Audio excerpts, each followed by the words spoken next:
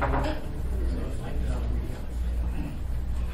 everybody. I'd like to call to order the work session on Kaba, not Kabbalah. And it's the timekeeping system for the municipality, proposed timekeeping system. Who's going to present? Okay, Alden, you have a, is there a hand up? There's not a hand up, but there's a, just a small PowerPoint presentation to answer any questions and just give you an idea where we're going. Okay. But um, we can certainly make handouts available after Right. the, uh, Gentlemen, the work session has begun. Thank you. Can we do introductions, and we'll start with, um, this young man walking over here? Okay. Start with, Weddleton? Julia Tucker, Assembly Council. Alden Thurn, Deputy Municipal Manager. Kim Hart, Deputy Program Manager for SAP. Toby Ray Johnson. Big train. Forrest Dunbar. And since there's not too many There's folks Pete in the audience, Peterson coming in. Mr. Peterson, we're doing introductions. What is wrong with these men? He's only got one bar. Please introduce yourself. Tim Butler purchasing is all part of IT. Pat Cooker, IT. John Roberts, Technology Services Manager, IT. Karen Turner, Employee Relationship. Mike Abbott, City Manager. Thank you. And young Rose lady. Foley, Assembly Representative. Thank you. Okay. Okay. Perfect. Well, thank you for this opportunity to uh, just do a quick presentation on uh, an upcoming assembly uh, memo that we have on coming forth on the 24th, uh, where we're going to be asking to uh, get approval for the new Kaba time collection system. Uh, this system is basically the, the time collection system that'll be used in conjunction with the SAP ERP system that we're working towards. I've got a, a- a few, just a few slides here to kind of give you an overview of, of what it, uh, what we're looking at, uh, what's going to be entailed and incorporated in this particular uh, memo that's coming forward.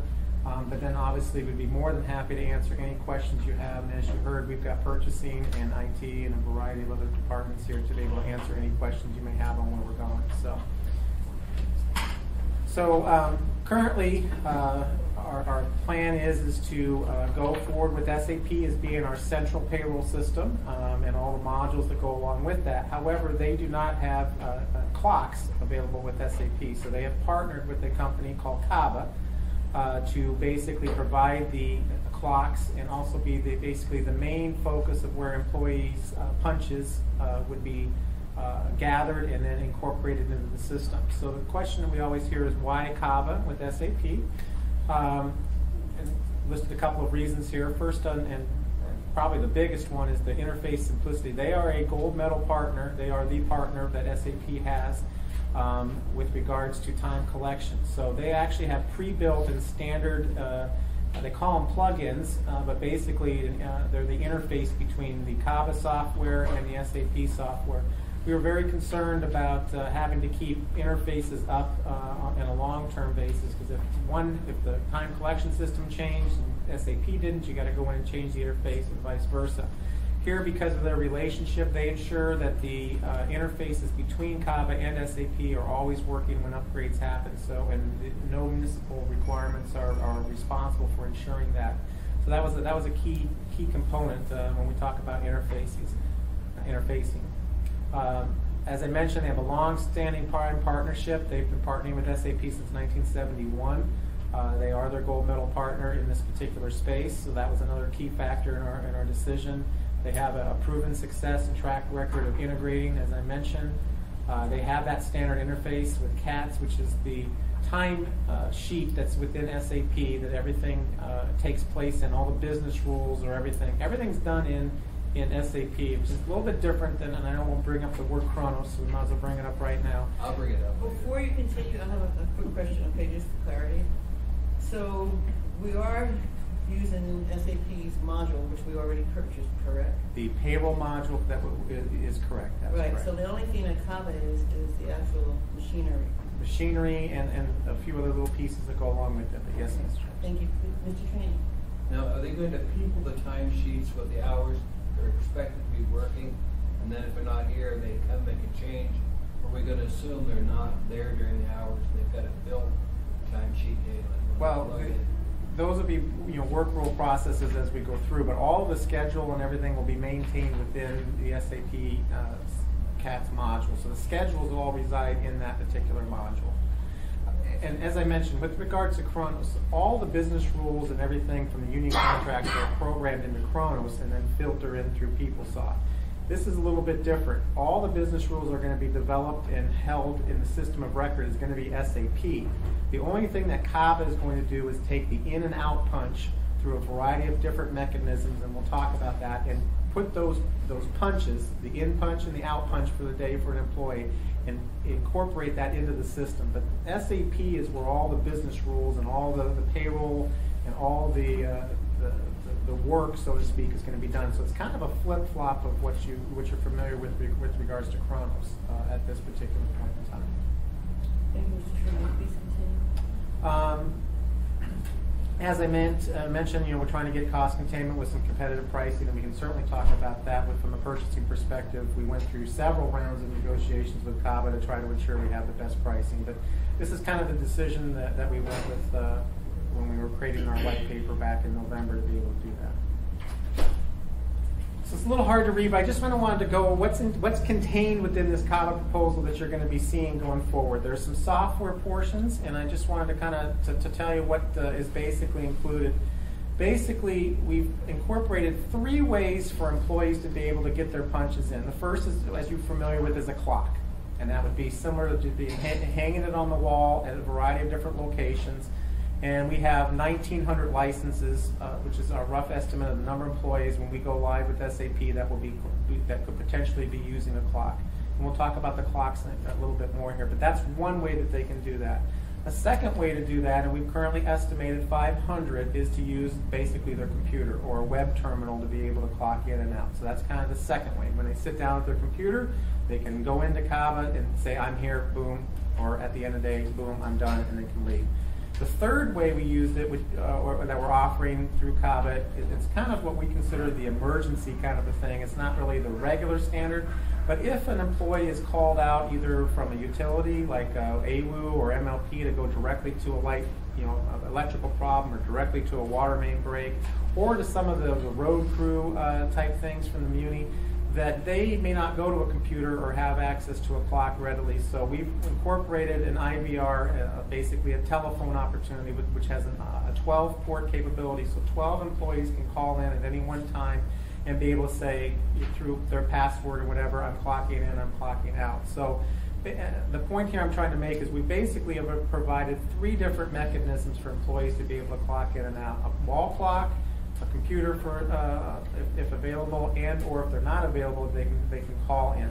And the nice part about all of these is that employee could do one at the beginning of the day and a totally different one at the end of the day. But as long as these are all filtered through Kaba, those punches will then be uploaded into the SAP system. Mr. Traini? Okay, tell me how a police officer that's at home gets a call to report immediately to an incident, will go into, go in the police department, sign into a time clock. They're So- gonna respond directly to the incident. So police and fire are the two bargaining units that will not be going live on July 1st. uh, or, uh, They will not be going live when SAP goes live. They will maintain their current teledriver uh, uh, and telestaff uh, functionality and the way they do their schedules and everything like that. And we're building an interface between telestaff and SAP. They will not be using Kaba in those two bargaining units when we go live. Uh, Downstream, after we go live with SAP, we will look at incorporating those, uh, those bargaining units into the, to the system, but we will have to take those exact same things that you just questioned into consideration prior to us bringing them on live. But basically, every bargaining unit, but those two will be using the system when we go live. Thank you, Thank you. Mr. Theron. Thank you, Mr. Traini. Mr. Weddleton? So, um, why, why not those two? Um, a couple for complexity, they have extremely complex schedules that even as, as Mr. Traini mentioned, uh, they don't, they may not have some of the functionality, uh, to be able to do it in the police cars. We looked at the terminals they have and those don't link automatically in. Um, plus we're making a big lift here just to get all the rest of the employees on there and we wanna make sure that when we do bring them online, we bring them on, that they, they work, they have, they're also, um, their schedules are very complex, so we, we want to make sure that we have, the telestaff uh, system really does a good job of that, and we want to make sure we maintain that functionality at least to begin with. It is our long-term goal, though, since they are hourly employees, that through a period of time, we'll start bringing both fire and police on at that point in time, but only after we're sure we can handle their. That, that's kind of a goal, yeah, I think that would be a pretty good goal, uh, to be able to do that. I mean, most likely we bring fire on first because, uh, they have, uh, they are more fixed sites and we probably look at them. Police will be the most complicated and we'll wanna make sure when we do that, that, uh, we've got, uh, everything lined up in advance to make it happen and make it work correctly. Thank you, Mr. Karen, so on, Mr. Traini. Mr. Alden, Kronos, how much money did we waste on that system? Uh, I didn't bring those, those numbers with me. I, Just send me an email, let me know how much you make, because I'm interested in it. And I wanna know with the Kronos equipment, do we put it at auction, do we put it in the dump? Well, I have been told that that equipment will be surplus, but, uh, Zal or, or So- Tim would be able to answer that question. Uh, Mr. Traini, yes, you asked me that question the last time, and based on the research, the best we can do is we put it on the open market on eBay, because the comparative one is selling on eBay for two hundred bucks. We spent, I think like twenty-five hundred bucks a, uh, device. How many units did we buy? We have twenty and, we have currently twenty affixed, we might have one or two additional as extras, but we have twenty. We have, so we have twenty total currently. Thank you, Mr. Traini. I'll leave you alone now. So maybe we can tell them about the Kronos. Please continue. So that, that's kind of how, that's, so that's a component of what the AMS is you're gonna be seeing is the, is the software licenses to allow these three different types of, of, uh, employee punches to get into the system. In addition to that, the, they the the consultants or Kaba has to come online to be able to, uh, uh, actually do the work. And so they have hundred and sixty hours, so there'll be consultants coming online and working, and I have a time schedule here that I'll show you in just a minute. I want to be able to kind of go through that. Um, but so there's a component for the professional services to design the system, uh, and, and, and all the interfaces when they're on site.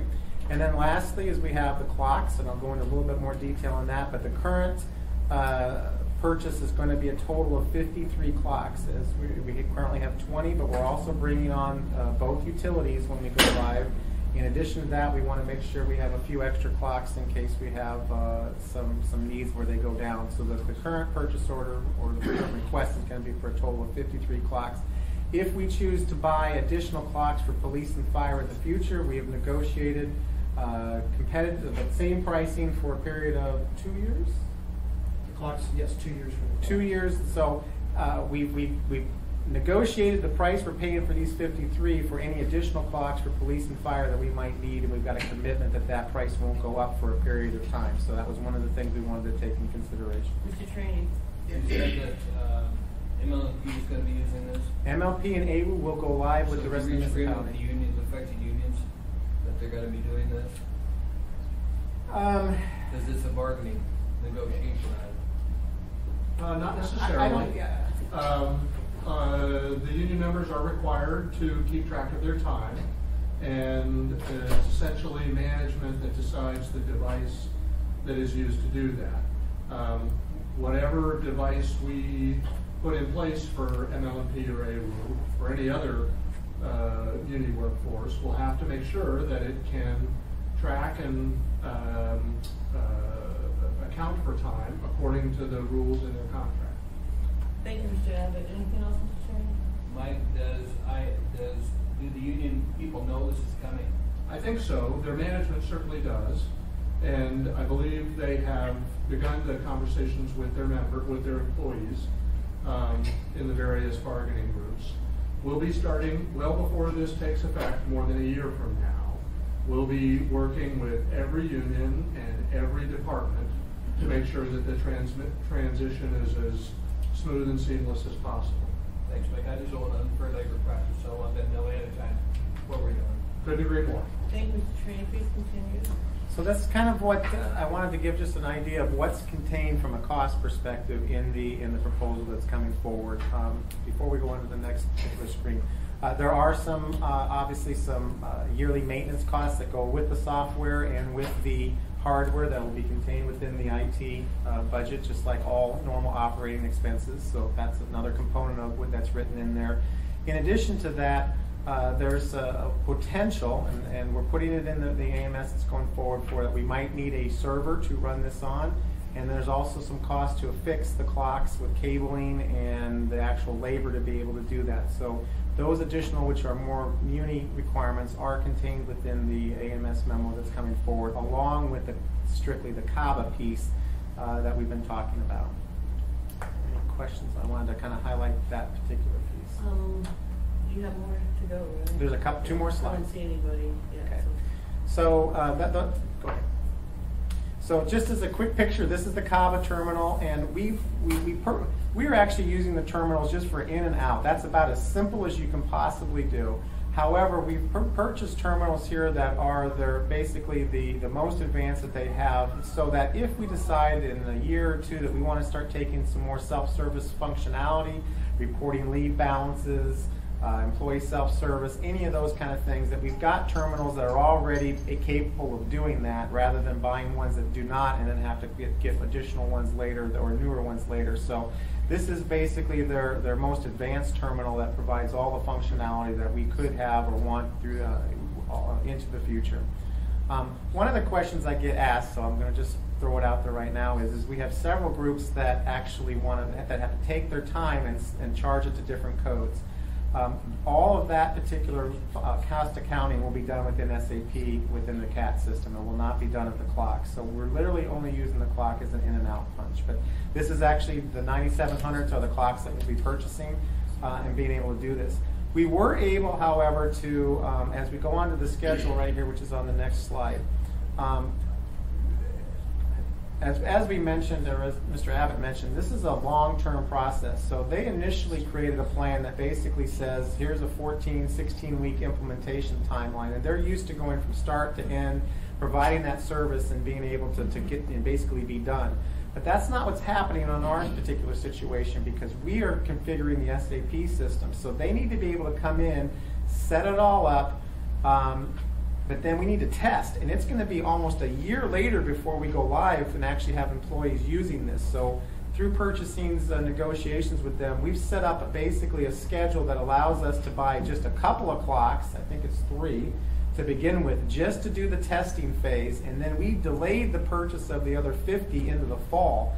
So one, we get the most current technology, and two, we get them when they're actually uh, when we actually need them to be able to install. So rather than getting all these these clocks and so forth. So while this is important, and that's why the 24th is so important, is because we have to get them in and configure and do all this this work so that when we get ready with realization, which you're familiar with on the, on the SAP side, we can test these clocks along with all the business rules and the payroll aspect. But the major purchase of the clocks is deferred uh, into a later period of time. And as a result of that, we were able to defer our maintenance, I believe, as well. Uh, correct, uh, Tim, for a period of time Yes, because part because of of that. So it's tied into the individual clocks purchase. so we, we're trying to we're trying to spread our cost out and, and have the, min- the minimal cost uh, as we possibly could on all of these different aspects. Um, but basically, they're going to come on site. They're going to they're going to configure this, our servers and document our policies, design and review everything, install and configure it, do the testing, and then um, the end user live and go training customer support. That's more when we actually go live uh, with the SAP system. But we broke their schedule up uh, to, to, to be the most efficient and most effective with our long 55-week schedule that we have, even though they're- they're- the intention of that they had was to do this in a four-month period. So uh, while this is a general slide of what they normally do, we've taken these exact same pieces and we've just spread them out to be most efficient for us. But I wanted to let you know what they're actually, what you're paying for them to come in here. The majority of it's the clocks, but then also they're performing all of this additional work to make sure that the, the the usage of the clocks with SAP are in, are, are hand in hand as we go. Mr. Peterson? Thank you, Madam Chair. I- I'm wondering, is, is there some sort of warranty or maintenance agreement that, that comes with, with this, um, new equipment? Tim? Yes, yes, the hardware does have a warranty, and in addition to the warranty, is, is annual maintenance. That we, that, that part of it we do pay for on an annual basis. And that would be for any upgrades to the, the clock software and all that kind of stuff. But I think from with regards to the clock breaking after a certain period, is it one year, I believe, or? Yeah, well, the, the, the warranty is, the warranty's one year, but if the clock fails, even beyond that point, you know, the, the maintenance that we're paying for is either for re- repair or replacement. But we would have to pay for additional software upgrades? Well, the, through your normal maintenance of software and your maintenance of the, the hardware with the annual fee that you pay, those pay, that includes all of your regular updates that you would be getting, that, that they would be making to their software and hardware throughout the life of the contract. Okay, great. Thank you, Mr. Teresa, please continue. Mr. Weddleton? maybe this is early for this, pessimistic, but six or seven years ago, there was a presentation like this on SAP, and it all looked good, there was a timeline, and Hopefully things only went four years crazy. ago, but. So, I mean, is there, have we, what we've learned from that, so this looks good, I assume it's right, but what if it all falls to pieces? I mean, is there, you know, they have, uh, like the company guarantees they will have us up and running by a certain date, that's Well, well, or we just open? Well, the piece that we're talking about here is the, is the Kaba piece and the game of punches. Certainly, everything is tied to the SAP ERP Right. system. That, that's the key. None of this will happen until the SAP system goes live. So if the system is delayed, then this will, then the, the implica- im- the use of this system will be delayed. We will be using the Kronos clocks and the Kronos way of doing it all, as long as it takes until we get the SAP system up and we're able to switch over.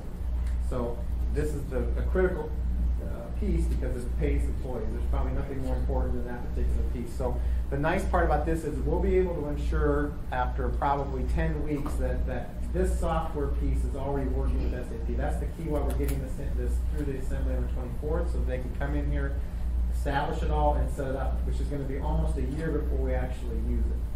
So this particular piece, I can rest assured, is gonna be working well in advance of the SAP system uh, coming online. So I have, I have little concerns about this particular piece uh, not being ready to go when we, when we go live because we've got such an advanced uh, requirement to have it tested and validated. And then even if there is a problem, we've got just a tremendous amount of time. And as I mentioned, it, it can't, it doesn't get any simpler. It's just, an you're taking two punches a day per employee. You're not really using the full functionality. So if you hopefully can just get those punches up, it's about as simple as you can make it with, with, with this particular service. Okay, thank you, Mr. Thurman, thank you, Mr. Weddleton, Mr. Traini. Uh, Kronos requires us to use PeopleSoft as part of the Kronos system, because it hasn't worked correctly. So once we actually get this system working, PeopleSoft is dead, right? Well, S, once SAP is, is, Yeah. is up and running, then there'll be a determination of how long we want to keep uh, PeopleSoft alive for a variety of different uh, business reasons.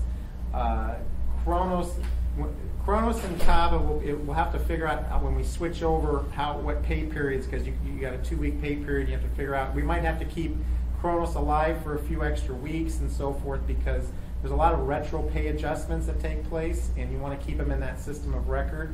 Um, so I'm sure as we get closer to the go live and the, the discussions with SAP, there will be a conversation about how long do we need to keep the Kronos, uh, i.e. PeopleSoft portion for just the payroll piece alive so that we can make payroll adjustments and so forth. And then at what time do we want to shut that off? And most payroll adjustments are made the first two weeks afterwards, and then they kind of filter off as you get farther away from that particular time period. But there will be a decision made at some point by the administration, probably with the recommendation of IT, on how long PeopleSoft will be, will be kept up and in what state will it be kept up once SAP goes live. You may figure, let the assembly know about this rather than just a decision made by the administration, which is their right. I wanna make sure the assembly knows what's going on, to. You're not envisioning a problem like we had last year, we had to adjust everybody's pay for an extra week. Remember last year we had that pay problem? Probably was before I Before your got time. here. Sorry.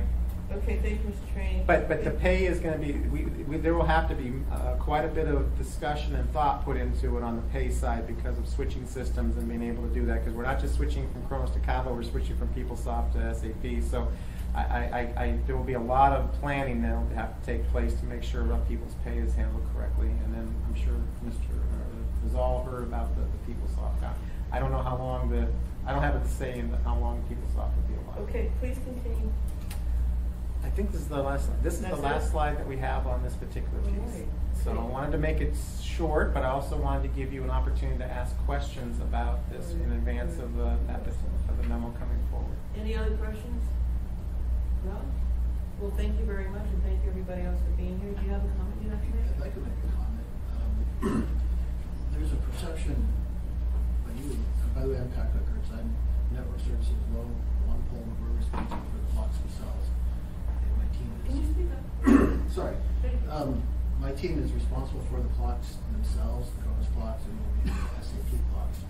But, um, I think a piece that's missing, or at least it seems like, is these clocks do provide staffs their labor savings. Um, we can see it in our own group because we have the test clock. And, um, I save probably five minutes a day using that clock rather than sitting down on my computer and signing in. And so the clocks that we have in Parks and Rec facilities and, um, and, um, the library. City Hall. City Hall, these clocks save labor time, so they, there's a cost, that we, you know, there's cost savings by even having them. So the fact we paid twenty, it's actually closer to twenty-eight hundred a clock. But, um, the fact we bought those, there is, you know, there's return on investment on those that's already been realized. Thank you, Mr. Traini. Just in looking at this, we talked to the chief fiscal officer in San Diego. They've got ten thousand employees, and they used SAP, but they didn't go to uh, Kaba, because they assume their employees are honest. They said, when going to timekeeping, what you're assuming is that employees are all dishonest, and they cheat the system. And it was a moral, morale thing for them. So I just wanna make sure we're not falling down a trap San Diego to avoid. That's all. Thank you, Mr. Traini. Any other comments or questions before we adjourn? Thank you again, everybody, for being here.